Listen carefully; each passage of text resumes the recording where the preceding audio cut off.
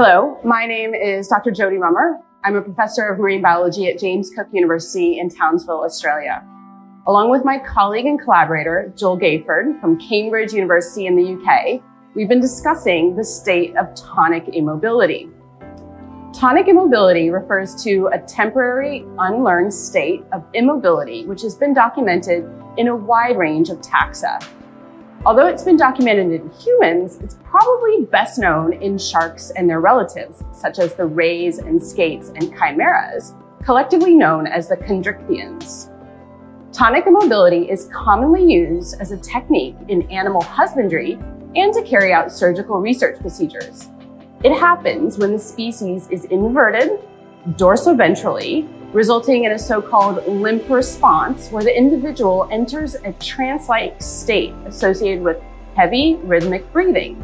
Induction of tonic immobility is often used by researchers as an alternative to sedatives and anesthetic, and particularly when attaching satellite tags. The following details the methodology for determining and assessing tonic immobility in chondrichthyan species, the sharks, skates, rays, and chimeras. So step one, we have to restrain the individual and invert them dorsoventrally, meaning turn them upside down as quickly and gently as possible. We want to keep the individual submerged in the water. We're doing this procedure on the epaulet shark, Hemiscyllium ocellatum, that is endemic to the Great Barrier Reef. Now, this species is known to not undergo tonic immobility, but we're gonna do this procedure regardless. We're gonna place one hand at the caudal peduncle and the other hand just above the pectoral fins. So we're measuring the time that's elapsed until the limp response is observed. And as I mentioned, this species does not go into tonic immobility. Now, if the limp response is observed, we're going to release the individual, but we're not going to reinvert them.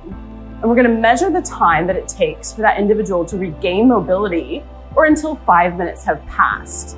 That would be when the individual would be manually re-inverted. If the limp response is not induced, as we see here, we're going to re-invert and release the individual, allow it to move freely for one minute, and then we're going to repeat steps one through four. We're going to keep repeating step five until that limp response is induced or until the individual has been tested a total of three times. Now, this limp response is a change in muscle tone that occurs during tonic immobility. The limp response can be recognized by a complete cessation of struggling and a deep rhythmic breathing pattern. Obviously, that's not what we see with the epaulet shark because the epaulet shark does not go into tonic immobility. It's best to record this procedure in video format, either using a smartphone or a camera like a GoPro, so that these times can be verified. Along with these step-by-step -step practices for this procedure, it's also important for us to cite that we adhere to the Australian Code for the Care and Use of Animals for Scientific Purposes and associated legislation. This may, in some cases, be different than the codes or legislation at other organizations. Thank you.